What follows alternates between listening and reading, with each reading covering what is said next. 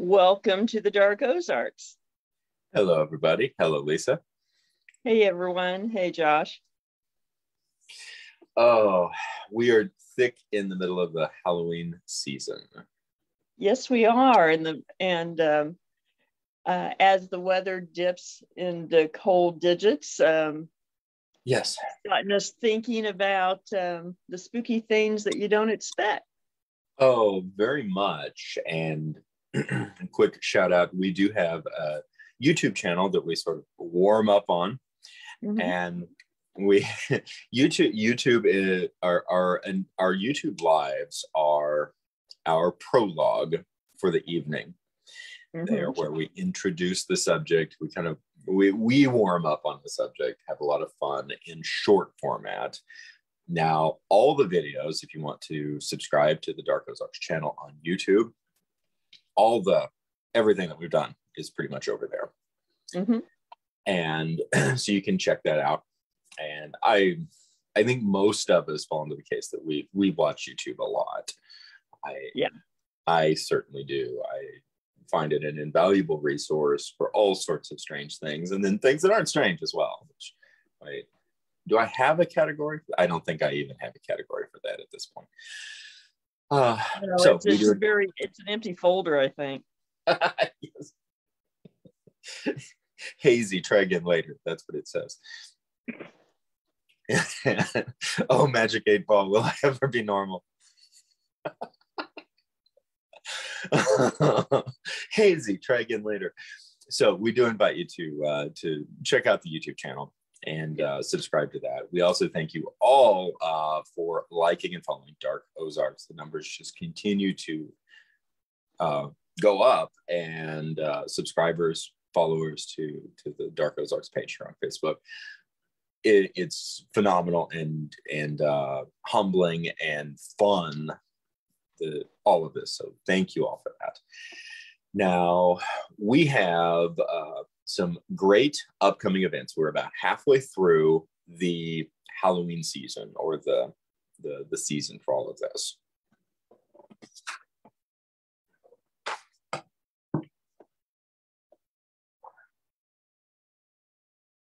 And soon to be on all platforms. Yes.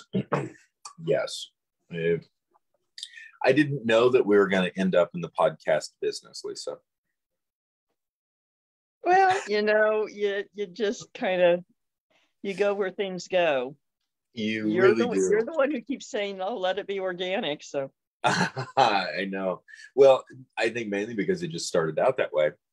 Mm-hmm. When we there, and I I just enjoy this process. I enjoy the mm, crowd-funded interest. Now, I'm not talking about funding, financial funding. I'm just the, mm-hmm. the, the the the the momentum that is created from large numbers of people being excited about what we are doing and then joining us in the process. A real quick moment because we're here on Facebook. So our our prologue for a, for a topic begins with a short format live on YouTube. Mm-hmm. Now we're on the uh, long format live podcast, which uh, you know we, we're shooting here on Facebook, and will show up on a lot of other areas uh, as well. And then after we conclude, we do a subscribers only epilogue uh, yes. at the end usually so this is this the the information for subscribers only on facebook. It works like patreon. It's something that mm-hmm. facebook has begun to offer. It's a new feature on facebook but you pay a little bit of money per month and you get to go behind the scenes with us on location uh, as well as a lot of other things. And you also get to be a part of our epilogue filming where we get to the end. We're usually a little bit slap happy by yes. the end of this, and it's very much off the cuff. It is a lot of fun. We do invite you to click on the subscription option. Just be aware the way Facebook has it set up is it is a paid option. It's not very expensive, but it is a paid option. Yes, and and you and you you have to know your password. Ah, I never know my passwords well, so I'm just preparing everyone. I don't either, but they, they the, the, people have told me that that's why you know that they they've run into that. They they have to figure out their password to to gotcha. sign up. That is very fair. Well, and that makes sense. And I haven't subscribed for it because I'm doing it as yeah. so we encourage you to subscribe, remember your password, and tell us how it works.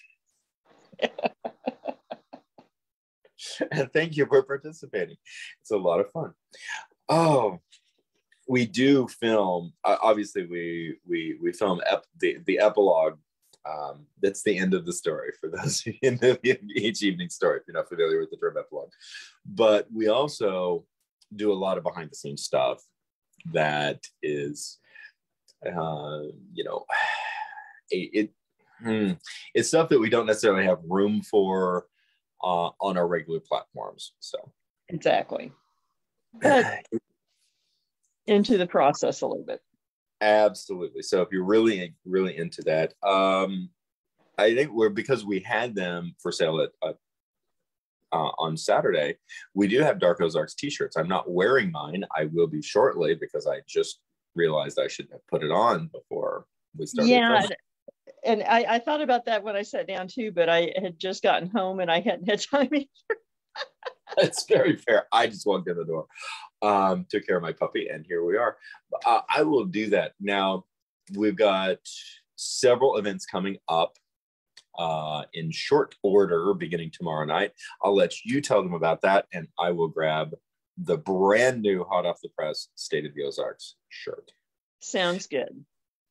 We invite everyone to the upcoming events. It is Halloween season, the spooky season. All tickets uh, are available at paranormalsciencelab.com. Um, so go check that out. First up is actually tomorrow night, October 20th. We will be doing the downtown Joplin flashlight walking tour, where we um, uh, tour uh, downtown and talk about some of the interesting history and ghost stories that come out of that area.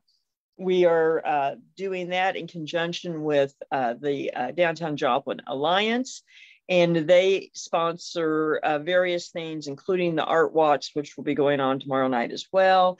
And they are instrumental in various uh, historic building um, restoration. So it's a good cause. Um, and you're back. So, um, yes, you are. There we go. The. Yes, and they Dark. They, they, turned out really good. So they turned out. They amazing. will. They will shortly also be up on uh, the website uh, on paranormalsciencelab.com, and I guess we should say shortly on the new Dark Ozarks website. Absolutely. So, so they are available. Yes, um, Dark Ozarks. Sometimes there are no easy answers. And and and sometimes it's all the time. It feels like. Usually. The, the, the short answer is there are no easy answers. That's right. um, so then our next event will actually be uh, October 29th. Yes. In Newtonia. Yeah, it is. And um, I'm I'm being excited about this one. I am very excited about this. We'll be returning to the antebellum uh, Ritchey Mansion on what really is the anniversary day after of the Second Battle of Newtonia. Uh, yes. Newtonia is easily it is a hamlet, I would say, a very small mm-hmm. village in uh, in Southwest Missouri that has largely been mm, bypassed by modernity. Pretty much. But one of the great things about that is a number of historic locations, including the Civil War Cemetery as well as the Ritchey Mansion, remain and very beautifully preserved. Lots of war history.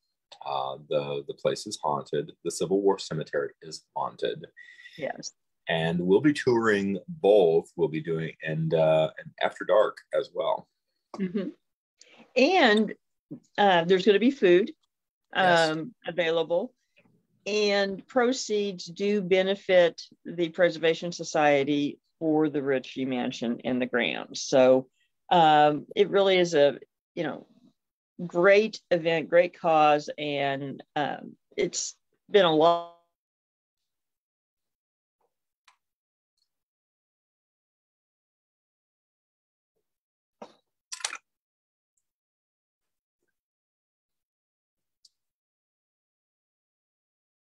Books sponsor the podcast as well as some of our events.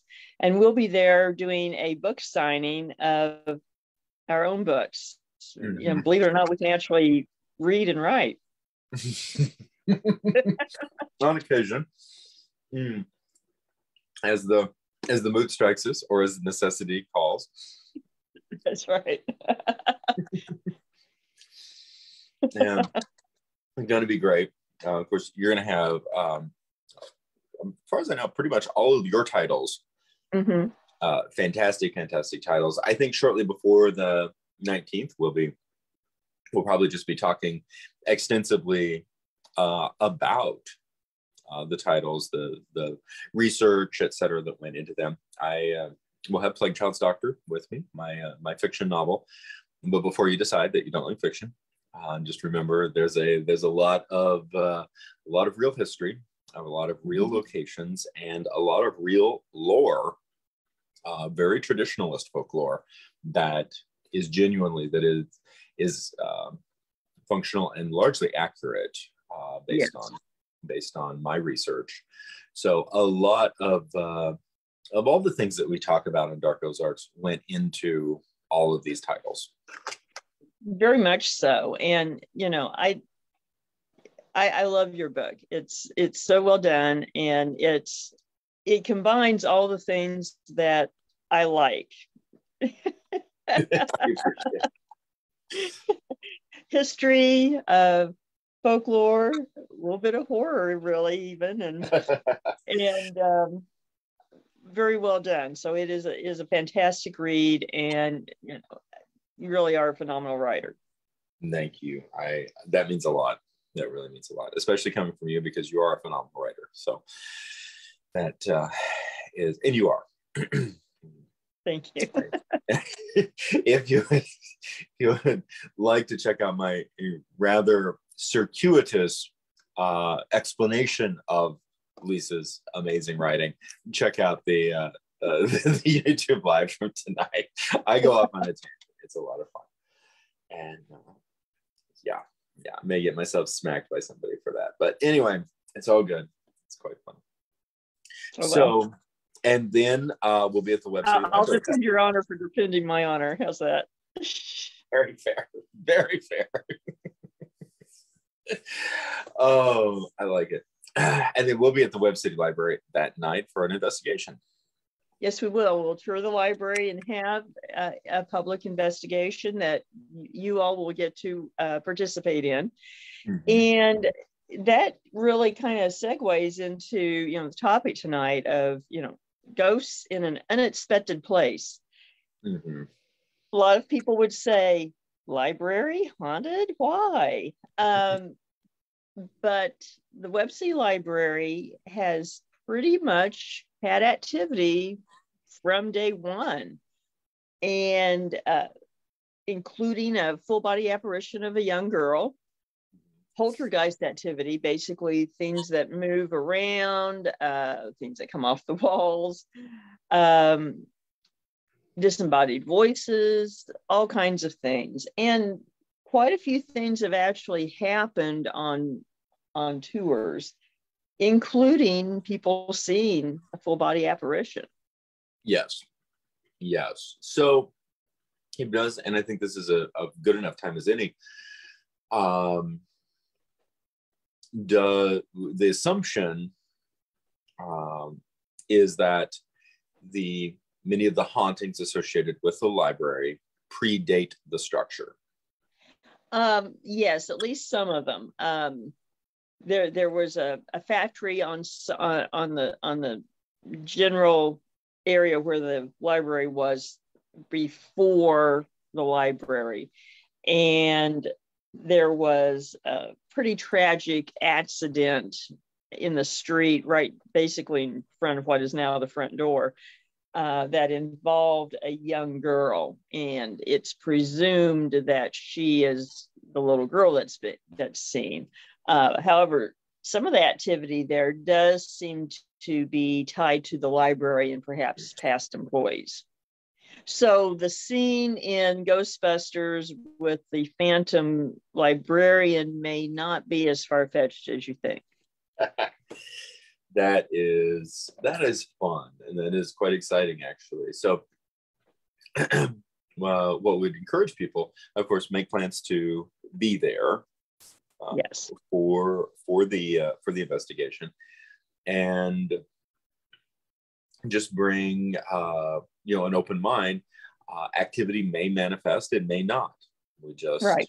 never know when you go into a location what exactly you're going to experience. That's right. Every night can be different. It can and is usually. Yes. and sometimes it's very quiet, sometimes it is not so quiet. Now, some of the most mm, compelling video footage that I've really ever seen was captured by you all mm-hmm. at the. Webb City Library with the books that move.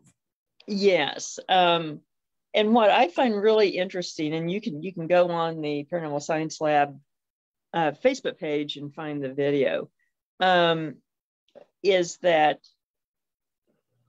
in those instances we have been in the in the in the area investigating. Leave it's after everyone leaves.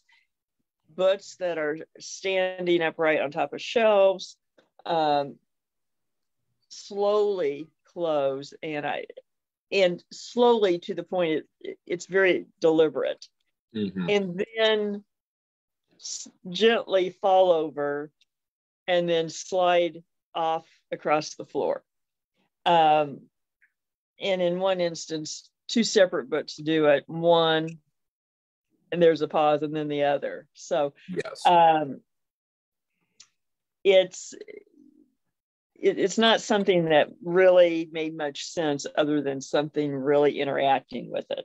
But they've had a number of things happen that are very hard to explain. Mm.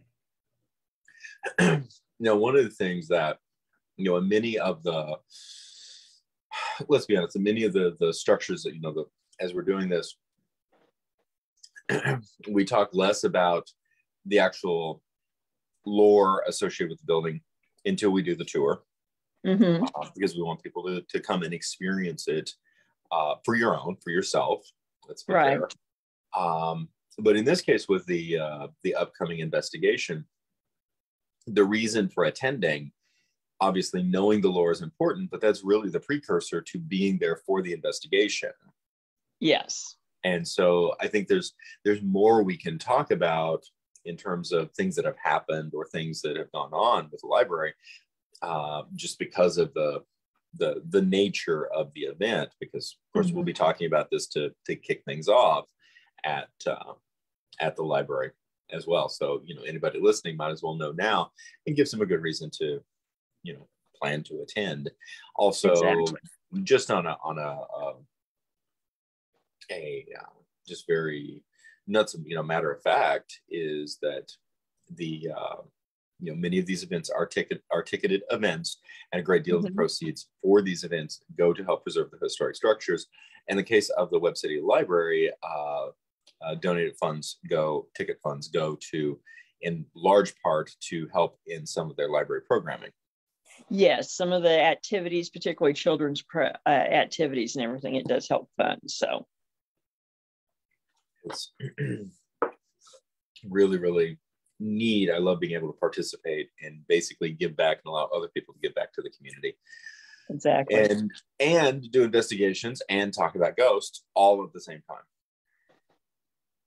It's a win-win for us. It, it, is. it certainly is. And oh, so that that video evidence now if if memory serves on the video as you noted the books close very slowly mm-hmm. topple over but they don't necessarily slowly slide at that point no they they they they topple over but come to a rest on top of the shelves and then uh, slide off pretty quickly as if someone has just just flung them off, them off.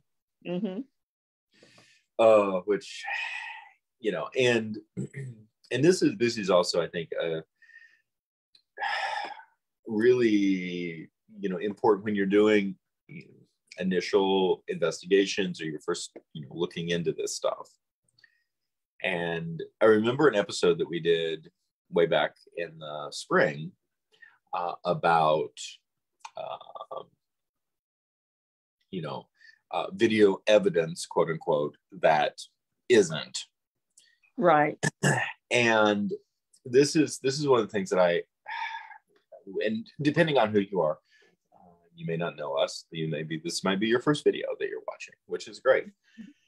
Um anything at this point digitally can be faked on video. Pretty much. Well and and to be fair most things have been able to be faked even you know 150 years ago. I mean yeah. spirit photography was a big thing uh, in the civil war period and shortly afterwards and there, there's a ton of spirit photographs with abraham lincoln in them and they are manipulation in the in the development stage. Either that or lincoln really got around after he got yeah. shot. He was uh, very uh, busy at one of the two visited a lot of photography studios um, uh, after his death. Now, this is where I'm going with this. uh, a lot of people want to be skeptical of, of evidence, and I think that's a very positive thing. I do too. Uh, that's something that we encourage is skepticism and critical thinking in this whole process. A lot of people um, for a variety of reasons, really want to believe. True. And and, and there's a, a, a wide uh, gamut of reasons for that. Uh, many of them, ex- and, and I think uh, the skepticism, um, as well as the desire to believe, typically, for for the most part, uh, are all stemming from very valid reasons that mm-hmm. I, I put a lot of credibility in in the the rationale of both and something that i so like so this is and and for people who don't know i'm comparatively new to investigation i'm not mm-hmm. i'm not new to folklore i'm not new to just an interest in the paranormal but i'm comparatively new to investigate the actual investigative process um, since 2018. Right. So I guess that's you know uh, for four or five years thereabouts. Right. And there's been a number of times. So this is where I, this is my point that I'm coming to, and I think it you know can kind of segue into many of our other topics tonight. Um, there's been a number of times that I've looked at mm, video footage of activity mm-hmm. that you know it was filmed by somebody I don't know them uh, there's no reason for me to know them, so on and so forth. But I'm watching the videos, particularly on YouTube, and and I look at it. So there are there's a classification of videos that even I can look at and go, yeah, you're just you're just making stuff up. But yeah. there there are videos that I'm looking at going, my gosh, that's very compelling. I, for myself, would like it to be true, mm-hmm. but I simply don't know because the the origin of the video is very much a very is an unknown factor to a large degree. Right. And something that so and this is one of the reasons that i think having um, regionally embedded uh, investigations being done by individuals who are there for the duration who are, you know, employ critical thinking, uh, critical analyses, and are not, you know, are are not there to capture something uh, sensational, but are just documenting what is going on. Mm-hmm. So, for example, and this is just, you know, and for people who are skeptical and they don't know dark ozarks etc and you could look at the footage and say okay whatever and and not buy it that's fine. Uh doesn't matter. But i know the rigor of your methodologies. I know uh, the process. I've set in on enough investigations to know that the video footage that is captured is raw video footage. Mm-hmm. and it simply is and the for knowing that because i know you guys and and we you know knew each other and worked together a long time before dark ozarks kicked off yes. um, about four years.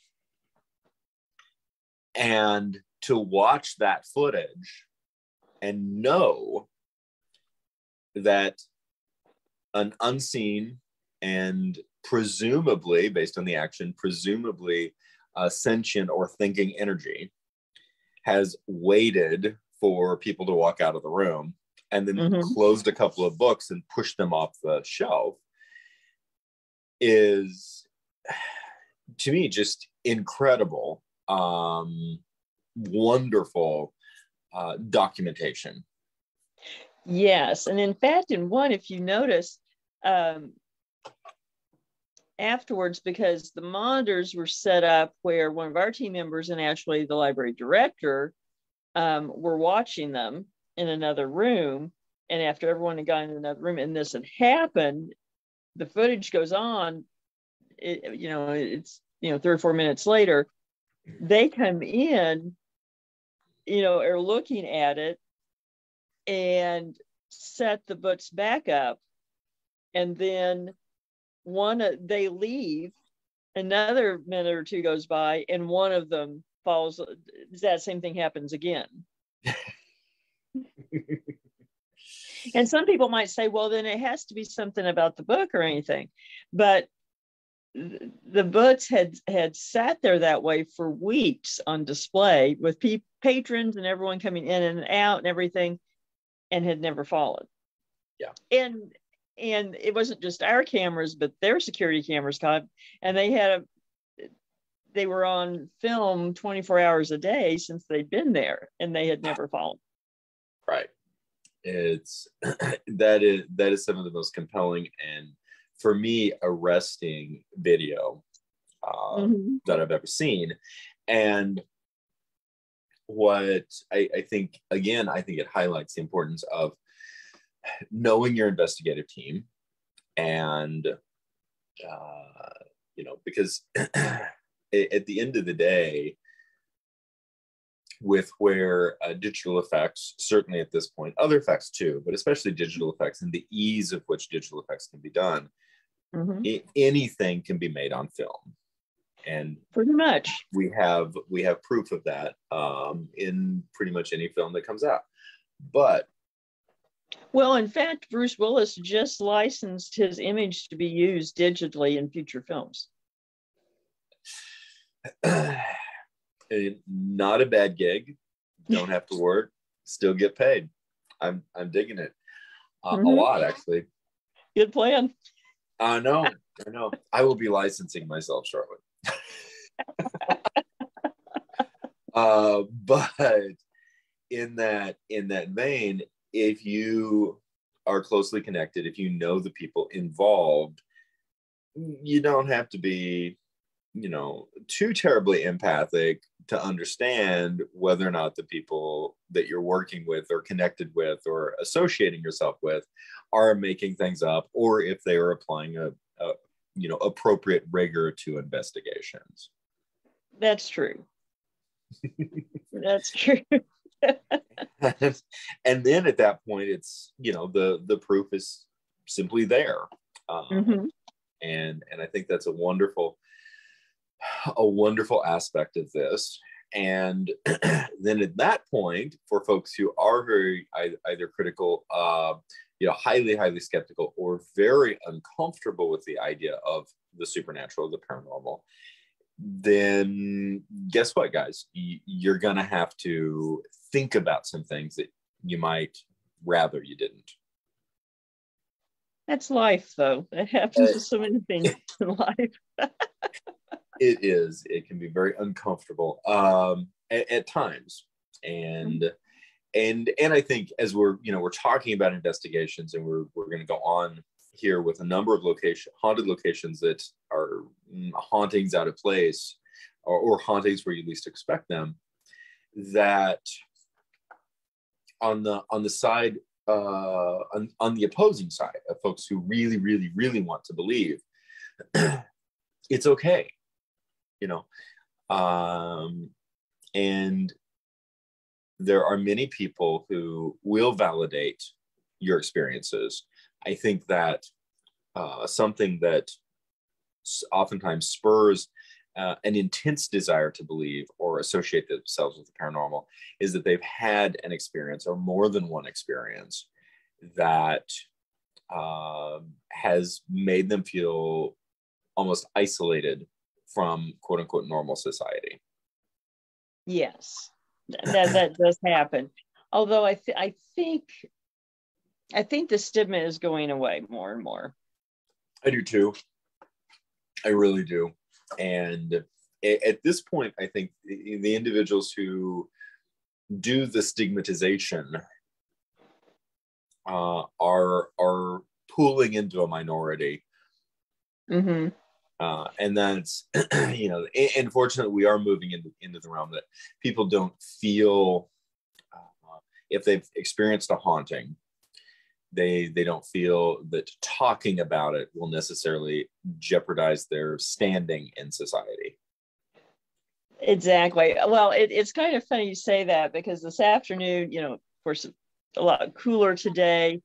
And I, I was out running some errands and i i actually have my uh, paranormal science lab hoodie on.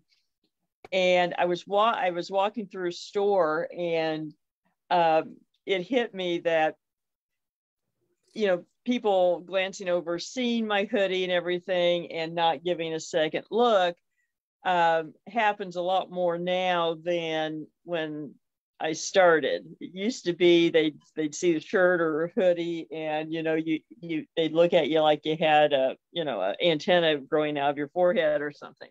Sometimes we yeah. don't get that too much anymore. No, and some people are, and understandably so, still reticent about sharing their personal experiences. Mm-hmm. Uh, but but again, the the number of individuals who feel afraid to do so is shrinking, and I think that's a very very positive development. It really is, and I and I do have to say that you know I have, and I know Alex has, and other investigators been stopped a number of times over the years. Uh, sometimes in the most odd places, you know, for people, you know, seeing a shirt or, or, or coat and saying, can I tell you my story? You know, I've, you know, anywhere from seeing in a restaurant while I'm eating, people coming over to while I'm pumping gas or just anything in between. And so, um, you know, I'm, I'm very honored that uh, we get to fill that role. 100%. 100%. Now, jumping into. I think you've gotten that some too now that, that people associate you with with the spooky with dark, stuff. yes, exactly. And I love it. Uh, yeah, with it, explain to folks what I do in terms of Dark Ozarks. And many times they will say, Can I tell you what happened to me? Mm-hmm. And it's amazing the number of people who have had those experiences. It's I, it, it, really is, and and there's a number that have had them in places that they don't expect. So let's talk about fast food.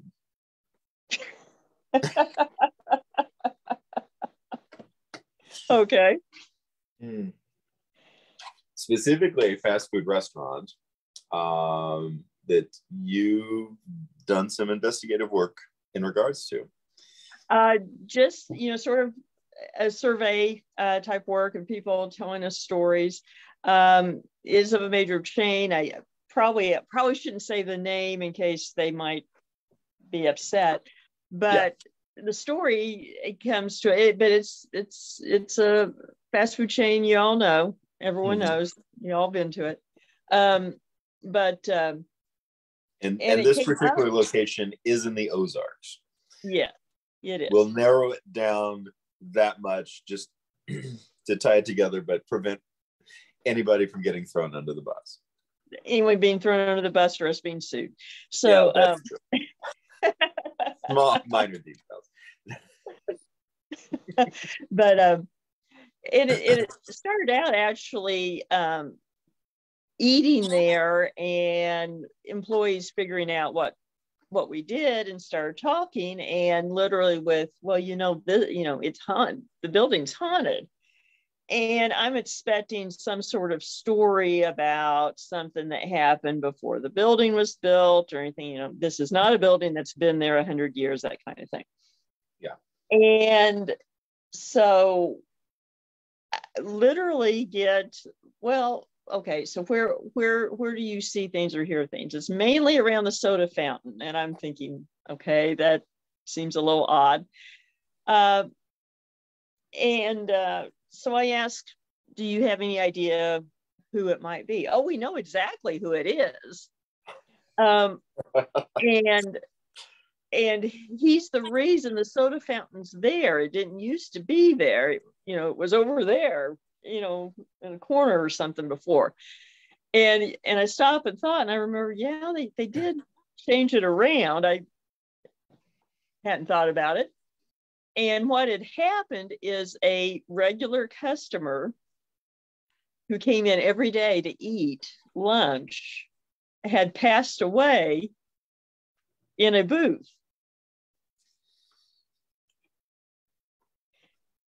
And so many things happened in that booth. Uh, later, they said people who would sit in the booth would have experiences and, and be touched and so forth and get freaked out to the point that they literally moved the soda machine to that space and rearranged that side of the tables. wow. yeah. Yeah. so you just you just don't know. You you don't know. And that that was one that that literally I, I was definitely not expecting. And apparently people who had sat in that booth got things they hadn't expected either. So. and now we have a haunted soda fountain. And now we have a haunted soda fountain. And i think about that every time i fill a drink there Hi, George. just get some Sprite. Excuse me, I just need to get a lid. yeah. very, very true. And again, I think, you know, it, it can be very unsettling, but it is bringing bringing this into the normal and bringing it into essentially the the everyday it is and you know and another thing you know that the employees would say basically was that in some ways it was comforting to them um, because it, it, it was someone that they had rapport with and it was comforting to the to them that he was there mm-hmm. and that is that is uh you know one of the positive sides we do have let's face it, as a society at large, and certainly for a variety of personal reasons, we typically have a fear of death and yes. and consequently a fear of the dead if you, you know, believe in such things. And I do believe that there are dead people. Yes. they do indeed exist. Um, they did just dissipate upon death. Um, but uh, but a fear of the mm, the other world Yes. And stepping into a sense of normalcy that in so many cases, not all, but in so many cases, a, a sentient haunting is basically just that person. If that person was a uh, was somebody that you enjoyed their company and and you know appreciated and enjoyed having around in life, not a lot has changed, and that can be a very comforting aspect. And and that's that's pretty much how how employees described it. Which is great. No we had a great experience over the weekend. Mm-hmm. uh, we got to be at the the vfw post in joplin. And um, and and this is another location that many times when you say you know, oh, the the VFW post in Joplin is haunted, people go, really? Yeah.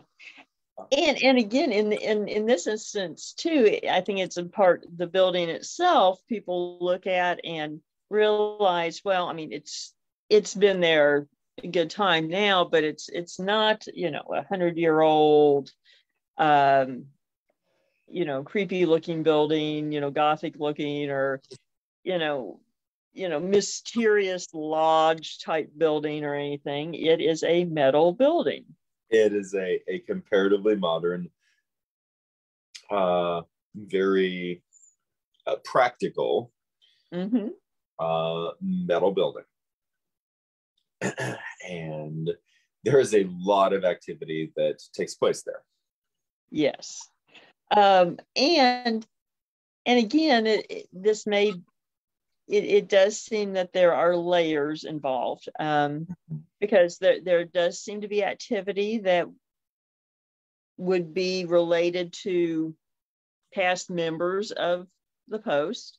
Mm-hmm. Uh, but uh, and to be to be frank, I had heard some, I had heard vaguely that that you know I I knew there had been something on the ground before, but I didn't know a lot of detail uh, until we mm-hmm. really started looking into this. And then you find out that the past history of the land makes a lot of sense for there to be activity, specifically that there was a dance hall there in the early 20th century.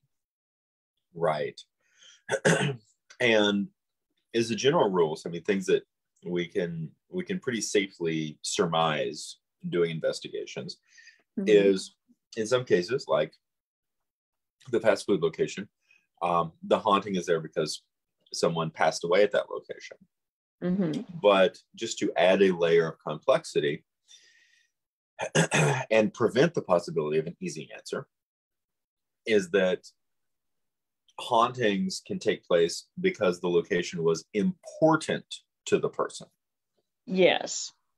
Which I think is it does fit the fast food restaurant as well. He ate there every day, so he obviously right. enjoyed it. But yeah, and uh, it explains some other things too. I'll leave it at that. Um, but that because we, I think it's a misnomer. I think it's a, I think it's a misconception that a spirit is somehow permanently tethered to the point of their death. I, I agree that that does not necessarily um, seem to happen. I mean, now some seem to be more localized than others, mm-hmm. um, but others do seem to wander, uh, wander about, and certainly are not stuck to a footprint of a building. Um, hmm. Now, and, oh, go ahead. And what happens to after a building is taken down? Right, right.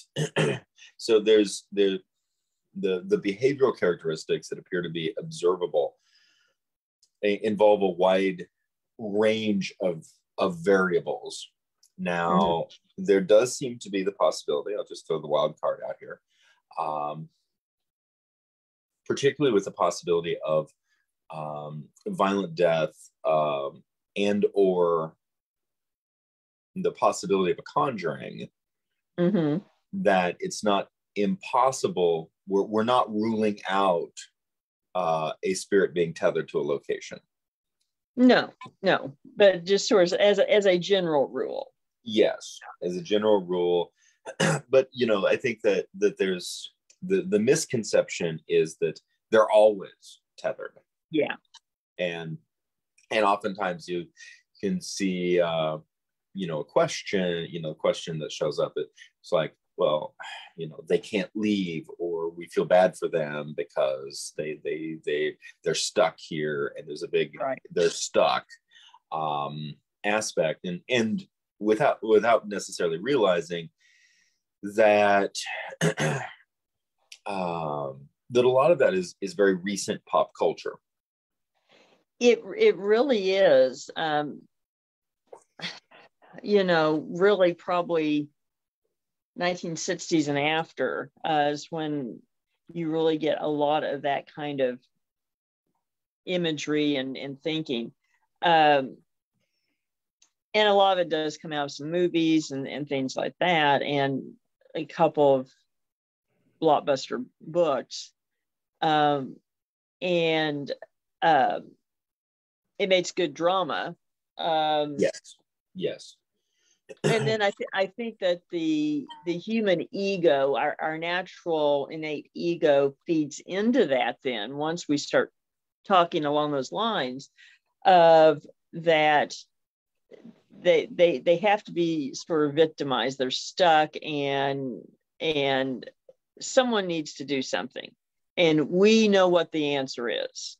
They need to go to the other side they There's, need to go through the white light or or whatever. Where in reality, in a lot of situations, it really appears that they come and go across the veil as they please. Um, yes. which I think freaks people out even more. Right. And the, there's, and I think this is a good time to, you know, the, there's a lot of aspects of the, a lot of the variables to these dynamics certainly that are more they're difficult to quantify because mm-hmm. we're dealing with uh, rules that we don't understand. Exactly. Uh, and so, and i think that that's that's really important. And, and we we we you know investigator i knew years ago used to always say we don't know the rules on the other side. And it's just egos thinking we do yes I think about that a lot. I, I, think that's very fair. And I, I will throw a couple of things out here. One thing I think that prior to the really heavy pop culture of they're stuck, they're stuck, they're stuck, they're they're they're tied to this location, they can't leave. Um, we need to help them. Mm-hmm. Uh, I, th- I think something that you see in the lore prior is the idea of a spirit will frequent a location. Yes. And and kind of like me, going to your favorite place on vacation. Yeah, exactly. to me, that is, I, I think, a more uh, a less dogmatic and a more reasonable and organic way of looking at a haunting. Mm-hmm.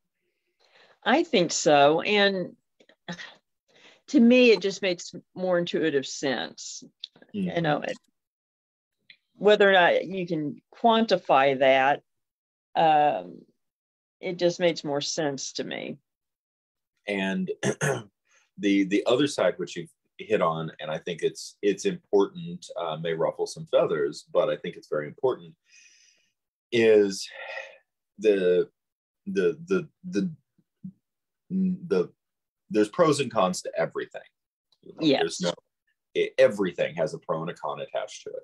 The the the pro of where we're at in terms of the normalization of ghost hunting and paranormal investigation, et cetera, through pop culture, means that the stigmatization of experiencing a haunting has really gone down, and I, that is a fantastic positive. That's a huge win for so many people.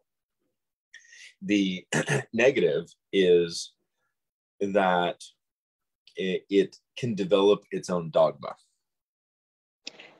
That's true and it it, it really has um, in a fairly short amount of time. I mean just in say mm-hmm. the last 20 years of these reality shows approximate 20 years. Yes. And um and i guess we should say there, there, there are two kinds of these reality shows. One is based on storytelling. Mm-hmm. and that's one thing the ones that are based on investigation investigating and investigative techniques are what we're talking about here that's created its own dogma. Yes. Um, and and even to the point that tropes have developed that you know we people will say things to us on on tours or whatever and it's not even you know that's a trope from you know reality tv it's a trope from this reality TV show versus this one. and and so we now have we have competing versions of this dogma even. And yes. And, not and, necessarily for the best. and, and, not necessarily for the accuracy. I think that's a, right. a crucial understanding. Uh, some of that does come, I believe, from a misunderstanding that reality TV is entertainment 1st mm-hmm. and that's okay. Entertainment is fantastic. Uh, yep. But some employment of critical thinking and uh, and sometimes you know putting yourself in in uh, you know uh, an investigative a critical thinking investigative perspective and, and approaching things with uh, with some humility is a beautiful thing.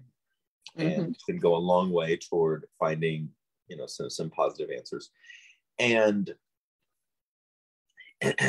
it's first of all i think it, in microcosm it is simply the the the positives and the negatives of very basic human behavior at work.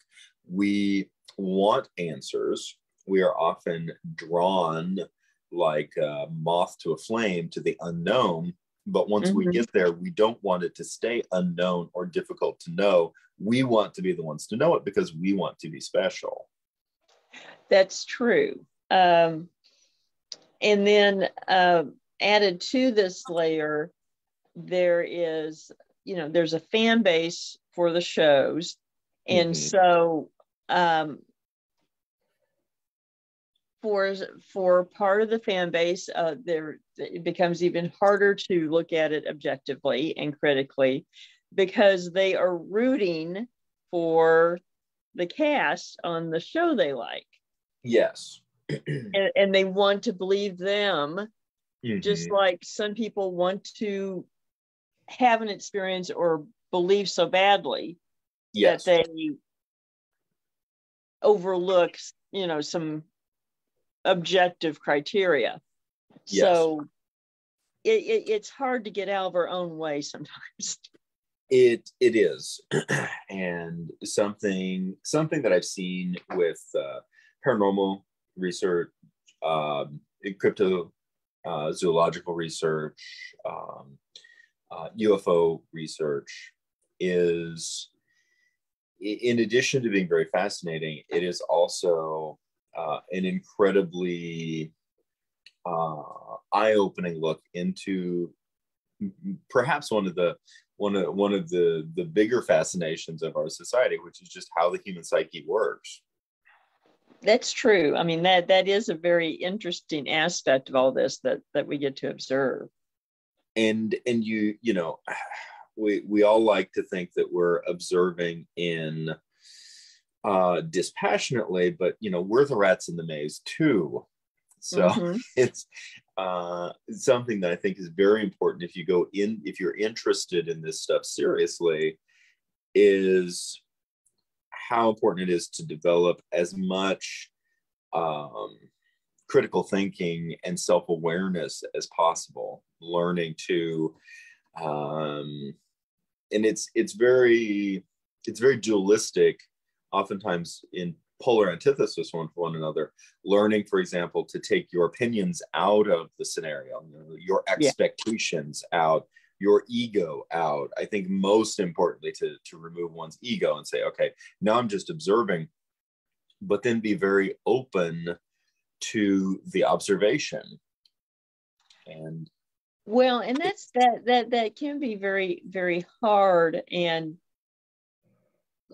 i for me looking at it even in terms of being an attorney and and dealing with witnesses in court and so forth a lot of people have a very hard time differentiating between their own opinion and what is fact and it's yeah. and it's often not from a, a deceitful position that they really are unaware that their opinion is not fact.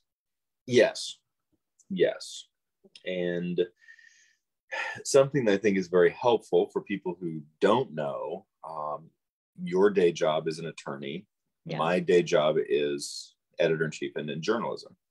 Yes and is, yeah. is being a journalist. And I, I, do think that both of those um, professional skill sets complement certainly they complement um, you know the dark ozarks endeavors but they they also are very very helpful skill sets to um, to do analysis.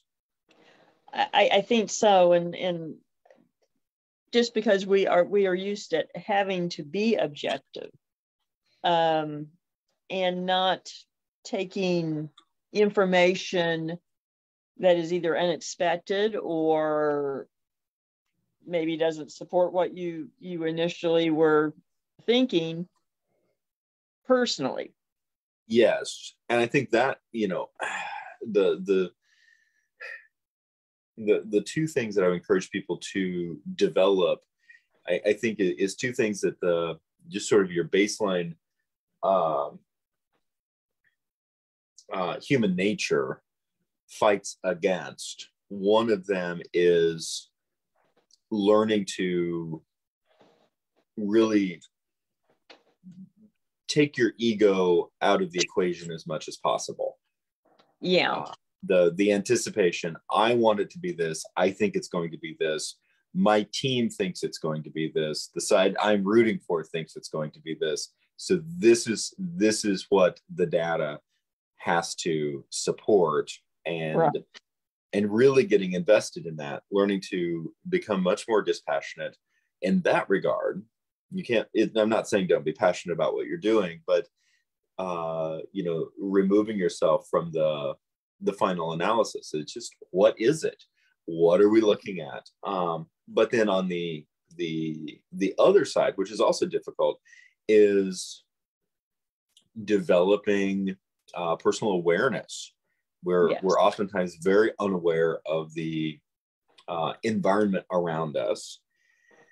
And so, for example, you know, there, there if you put yourself into a, a creepy mindset, you know, we we've all had those moments where we've been spooked out in our own living room because of the show we were watching.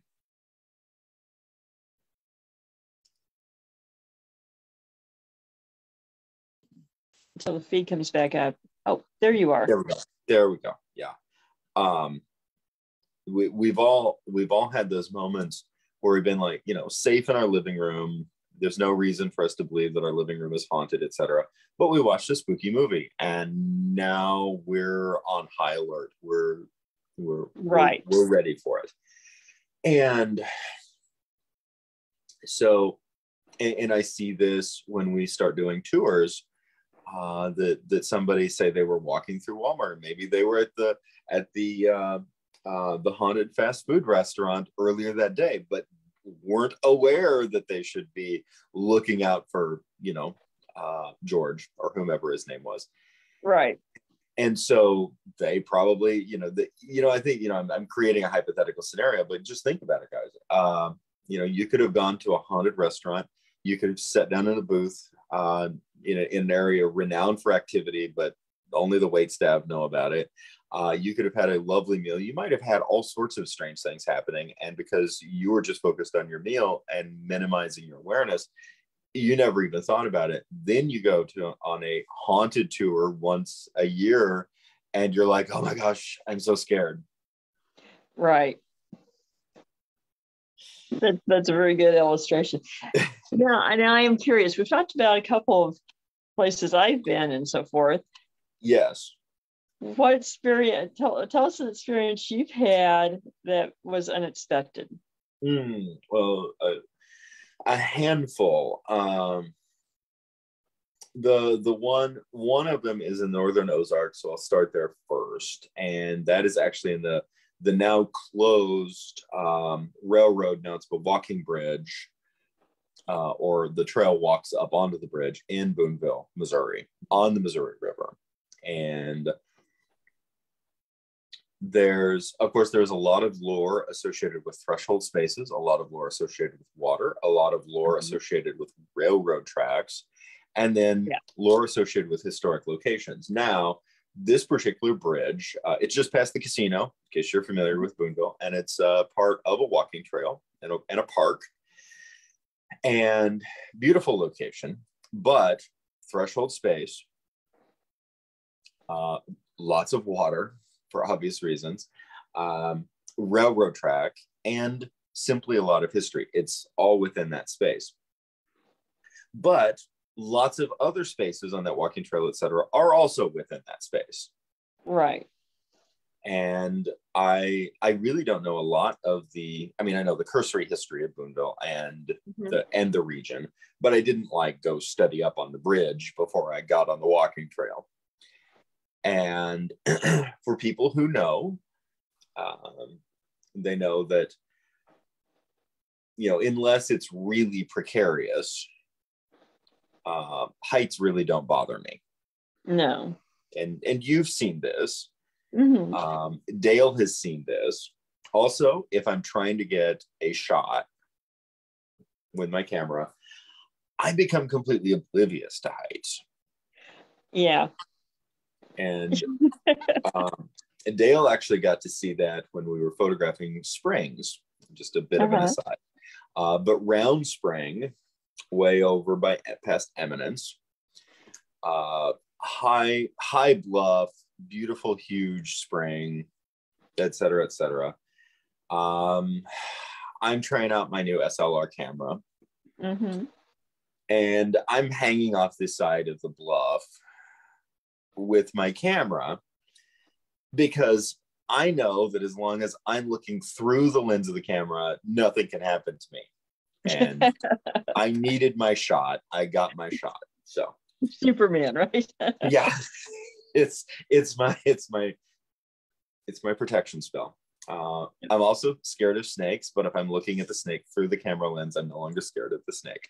And I got some some fantastic shots of actually a, a, a juvenile rat snake at very close range. But in case anybody wonders, the juvenile rat snake has an interesting diamond pattern. And when they're young, uh, the space between the back of their jaws and the rest of their body is smaller mm-hmm. to give the illusion that they have a slightly diamond shaped head. And I hadn't actually done an identification of the snake. So for all I know, it's a it's a a pygmy rattlesnake, and I'm like getting in its face, photographing it. But it, it, it's fine because I anyway. That's that's me. I get weird. So important precursor. Walking across tall bridges should have no I should have no issue with whatsoever. And I I bounce up on the bridge because sun's going down. Missouri River is gorgeous. It is a crisp, mm-hmm. beautiful October evening. I'm like super excited and I'm not even thinking anything about it. I'm just going to the the end of where you can walk. They have a, right. uh, a little ways out, and then it's blocked off. And I get out there. I'm now over the water, looking for the shot, looking for the shot, excited to be out there. And at some point, I cross a threshold. And I go, and, and, the funny thing was i am suddenly and i'm standing in the middle of the bridge like you know it's a wide bridge there's a lot of yeah. space on both sides it, i'm a long way from dropping something over the edge right suddenly i am gripped with this irrational fear that i'm going to lose my camera over the edge I have to hold on. I was just using the iPhone. I have to hold on to my phone. My phone. I'm I'm scared. I'm going to drop my phone. It's going to be lost. And the further I get, the more just that that intense mounting level of fight or flight. Wow. I should not be here. This is dangerous. You're not in a good space. You need to go back. Just go back. Just get off the bridge. Hmm. And again, I don't have a reason other than this very abnormal reaction. Right. Uh, I fought the feeling long enough to get the photos I wanted, but I was scared to get to the edge of the, the guardrail. Right. Uh, which again, odd behavior for me. Uh, yeah. And then I'm like, okay, I need to get off this bridge like I need to get off this bridge right now. And and the there's the the bridge construction part, and then mm-hmm. you cross past over because the that railroad bridge crosses another railroad track. Uh-huh. And as soon as I'd crossed over the the railroad track below, Mm-hmm. I was fine. So very limited spatially. Very, very limited. And and I still get a little creeped out, like thinking about it. Um and for people who say, oh, maybe it was the height of the bridge, etc. No, I don't think so. I and and, and I traditionally love this kind of stuff.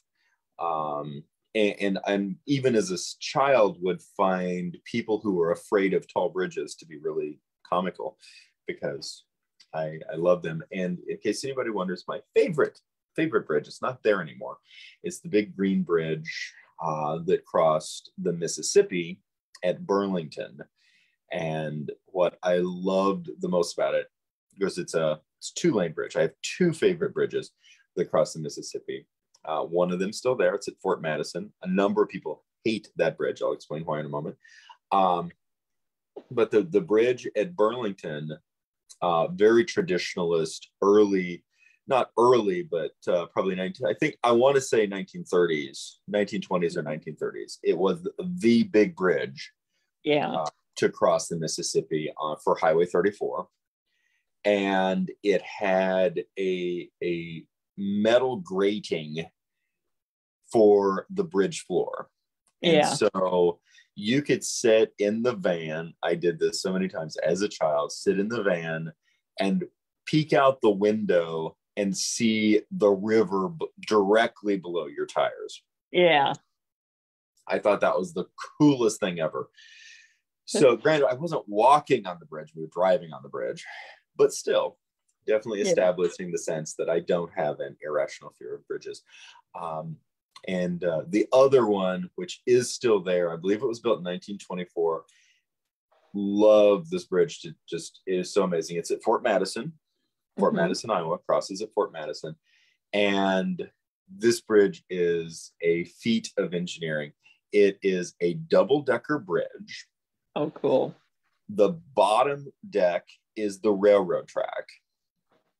The top deck is the driving uh, oh, deck.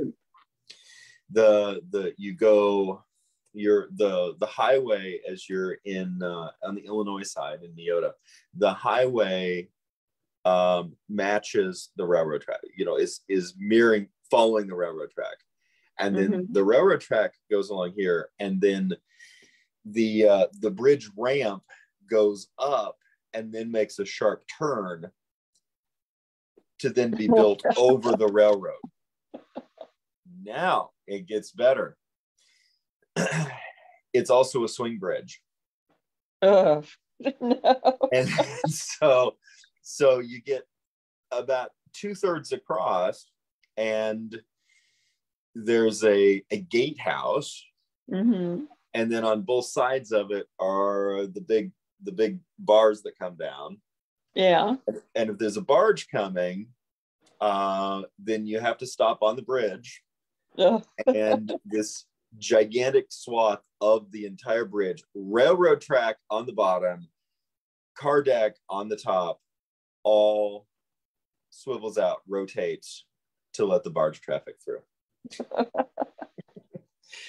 it is so cool. Um, Cool, but yeah, see that that would that that would creep me out a little bit. it was I it was one of I just I I love this bridge so much. Um so all that to be said, it is very odd behavior for me to be on this bridge hmm uh, in Boonville and suddenly just absolutely have to get off of it. I do believe there's energy there. Um, I, I'd like to do more research on why. I, I don't know, but Yeah. it definitely enough to catch my attention and make me want to know more. That's that's very fair, and it, and certainly you don't think about some having that kind of experience when you're just walking a trail or something like that. You know, um, you know, it's it's kind of like you know you go to the city park and something freaks you out. You know, something happens. You know, it's not it's not uh, expected. No. Um, So, what would you say is the most unexpected sort of haunting or ghost that you've experienced? Um, my my most unexpected, of course, it is outside the borderlands of the Ozarks. But since we're just talking mm-hmm. about uh, hauntings and unexpected places, uh, was an experience probably the first dramatic or the, the first dramatic um, haunting experience that I had, which I was genuinely aware that something had happened. Uh-huh. Uh, took place in 1998, November of 1998 and was in the Methodist Medical Center in Des Moines, Iowa. Uh, we were there for a family member and a situation where you just are there. You right. Know, you go to the hospital and you stay uh, for a long time. Yeah. And working hospital, everything's all the regular activity going on. Yes. Uh, so it wasn't like I just stopped in. I'd, I'd been there with my family for over a week. Uh huh and consequently i was getting really bored and it was about 10 10 something at night. Uh-huh. And, so and i'm i'm still basically just a big kid at this point. Um, I'm, psychologically i'm a big kid. I'm 20 in case you wondered i am 20 yeah. uh, at this time. And for those likely familiar uh, possibly familiar with uh, the Methodist Medical Center it is a sprawling complex and we were, um, my family member was on Powell 3 at the time. It was an oncology unit. It was in Powell 3. Uh, there's two wings on the south side of the hospital, Powell and Yonkers. And trying to remember, Yonkers, I believe, has nine floors. I think Powell is slightly shorter. Um, mm-hmm. So, so I was on, and there, the two uh, towers are connected by uh, stairwells and a bank of elevators. Okay. So, so they, the two, uh, they're long, um, east-west tower, two, you know, east-west towers, and then they share share the stairwells and the, um, basically foyer areas with the, uh, with the elevator bank. gotcha. So I'm on Powell three, and the family room where I was sleeping in a armchair mm-hmm. uh, was as if you were on the it doesn't really matter i suppose but the the the east end of Powell 3 which is right next to the stairs and the elevators and then it would have been the walking into yonkers 3 mm-hmm. uh, and so right there where the elevators come down was the family room that's where i was sleeping um, i i was bored didn't have a lot to do. And as a general rule, when I got bored, I would get permission from my family and then I would wander into other parts of the hospital that were, yeah. were open. Go go to the coffee bar, uh, go to the cafeteria, familiarize myself with the layout, etc. So I I'd done all that. Uh, it's late late in the evening, and I let's be totally transparent here. I have to pee. and, and, and I'm tired of going to the bathroom that's right next to the family room. So I decide I'm going to just go up a floor uh-huh. and, uh, and, and try out uh, try out a bathroom on a different floor just for a, a change of pace. So mm-hmm. I uh, I take the elevator up to um, uh, to the fourth floor because I'm on the third floor. So let's go up one. I'm 20. I know it doesn't make any sense, but I was just, you know, stir crazy.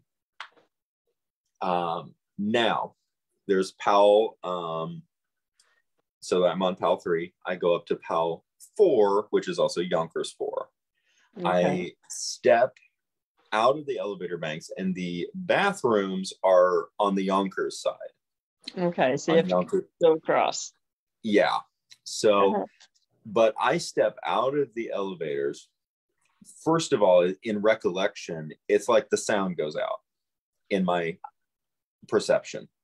Mm-hmm. Uh, I'm not saying that there wasn't sound, but my perception of the space and my memory of the space does not have sound. That's, not, that's not an uncommon thing either You know, mm-hmm. that's not too uncommon. Um, now, an interesting thing is that presumably Powell 4 had people on the wing. Mm-hmm. Um, Yonkers 4 had been cleared. It was going to be a renovated floor. Okay, so it was empty. It, Powell 4 or Yonkers 4 was completely empty and mostly dark. They had some very basic lights on. Now, it was a, an admittedly creepy uh, scene because they had yeah. a lot of lights off and they had a lot areas that they were getting ready to paint or drywall refurbish etc they had a lot of plastic hanging down. Gotcha. So you know and that's where you're like looking into the floor. There's the nurses station. There's the halls down on both sides. But again and i could laboriously beat the point but i'm not scared of the dark. I'm not scared of funky lighting. I grew up in a timber i you know, whatever. And please bear in mind, I'm 20 years old and I'm stir crazy and I just want to go pee in a different bathroom. Let's be honest. That's what I'm actually doing. Uh, so my mind is very, very far away from is this a haunted floor or right. whatever. And I, I step out. Now, what and the reason I, I'm really tying in on the sound, presumably Powell 4, which is right there, had activity on it because that floor, that tower section was not closed. The Yonkers right. section was being renovated. The Powell section was not. I have no memory of people or sound or anything. Wow. Um, I step out of you know out of the elevator, and there's just a there's a moment where it's like this is weird. And the next moment is mounting fight or flight. Wow. Get off the floor. You shouldn't be here. Wow. Now as a testament to my general fortitude i'm like no i have to pee. And i rode the elevator an entire floor up here to do this. So i go to the bathroom. And the uncanniest experience, very similar to my first experience at the Crescent Hotel, a sense mm-hmm. of presence around me, behind me, the sense that I should not be here. This is yeah. this is not a space that I am supposed to be in. And and it's relevant. This is relevant to the story, which is fine. Because I'm standing at the urinal peeing. Okay. And every bit of my spider sense says, get the hell out of here and but not quite yet. but not quite yet. I'm I'm doing a little busy. Um, and now this was 1998, so now this is a funny. It's not paranormal, but it is funny. In 1998, so automatic flush urinals was a new thing. Let's just say it was a good thing I had already peed when I stepped back and the thing flushed by itself because if it hadn't, I would have peed in my pants. Uh, it, it would have been a real thing. Um, I would have had to have like gone and changed my britches. Um, I, I finished. I did wash my hands, in case anybody wonders. Cleanliness first, even in, in the midst of a malevolent fight or flight environment. I I don't know what you're here to, to do to me, but just one second. yeah, I gotta do something. Um, I basically move rapidly to the door, step outside, and it is so there's no noise basically, but just the the intense rush of energy that says get the hell off of this floor. You should wow. not be here um, you could not it was an open floor. I could have walked like if like there was nothing obstructing me from walking right. through yonkers and going across the walkway to the main part of the hospital. You couldn't have paid me enough to take one step toward the nurses station. Wow. Um, i run and also and this is something that i experienced without even thinking about it at the crescent hotel many 10 years later you couldn't pay me to get back in the elevator yeah. Uh, I run to the stairs. Mm-hmm. I run down the stairs. I open the the fire escape, you know, the fire door, big heavy right. fire door on from the the uh, the the stairs, the you know stairwell. I step out, and the first thing that I remember is hearing normal sound in Powell 3 and and you know that that sort of that vacuum of no sound does happen with activity at times so. It was uncanny. Uh, i did not go back up to yonkers for that night. Fair. The next day in the daylight i did go up there. Mm-hmm. and i remember walking around toward the nurses that it was a very different environment yeah uh it was not spooky at all and i remember being baffled at the change of environment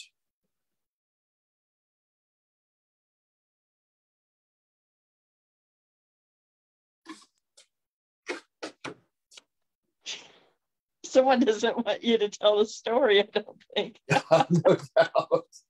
Oh, I just remember being very baffled at the change of environment.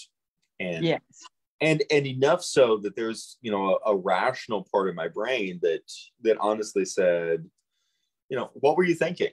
Um, there's nothing scary here. There's nothing spooky here. There's nothing um, and if it had not been so intense, and, and, of course I didn't see anything. Nothing touched right. me. There wasn't a physical mark. There wasn't a you know a, a, souvenir of the experience. It was just my impression of the of the space. Um, if it had not been so intense, I I could have dismissed it and said, "Oh, my mind was playing tricks on me. Uh, uh, who knows what?" But right. I, I that that experience, and of course a couple of others, have definitely told me, you know, in, an intense experience, you don't have to guess whether or not you're having an experience.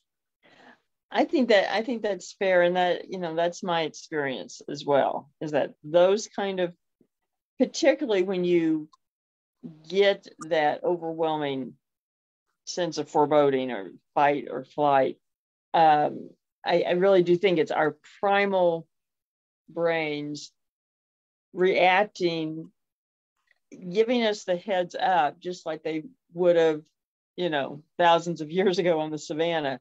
You know, yeah. the lion's about to eat you. I mean, that's the sensation. You know, that is the sensation, and and there are environments that we step into that you know give us that same sense and Yes. Just because you can't see something doesn't mean it isn't going to eat you. So yes, which is a little scary.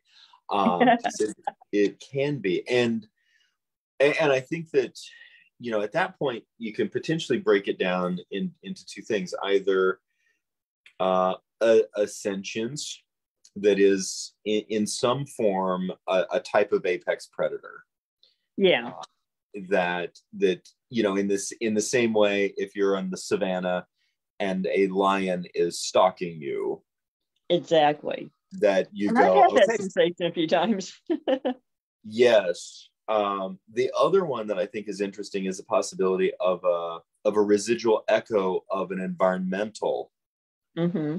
uh, issue. In the case of yonkers 4 something that I, I actually had an incredible moment earlier this year, I was sharing this story with an individual um, whose father in law was a firefighter in Des Moines uh, uh-huh.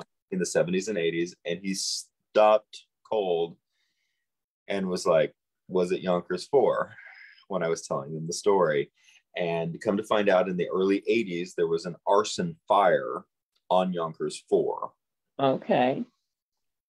Now, I don't know if the arson fire involved casualties or not, uh, but it was deliberately set. That's my information I have at this point. I would like to find some actual newspaper records. I have not been able to find anything online uh, That's about interesting.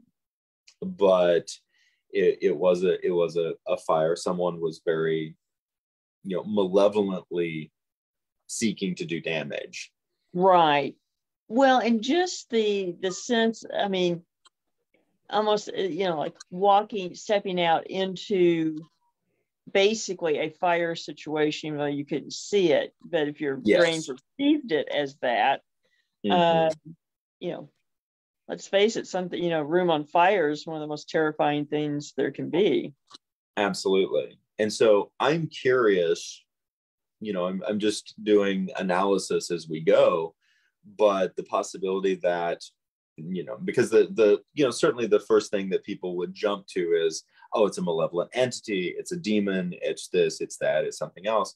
I'm wondering what if i'm just picking up on the residual echo of this fire which would be terrifying and everything in my being would say get off the floor. Uh, see to me that that makes probably more sense that it's more likely that than than a benevolent being being.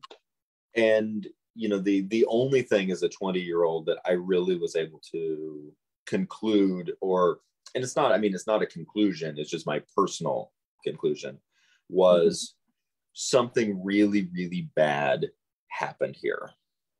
Yeah. Well and at least you've gotten some partial confirmation of that so it's yes. a step forward. And i the that you know because i've gone a long time with with no confirmation. I just know what what, what i what i what i felt. And you know and the and i think it's even you know we we I, I see a lot of catharsis for many people who come and talk to us. I will say that uh you know dark ozarks has been very cathartic for me. There's you know if we weren't doing this there this is a real experience I had, but it's not a lot of people that I have a chance to talk about those real experiences. Well, that that's very true. Plus, the broader the broader scope of what we talk about and everything gives a little more context too, in a way.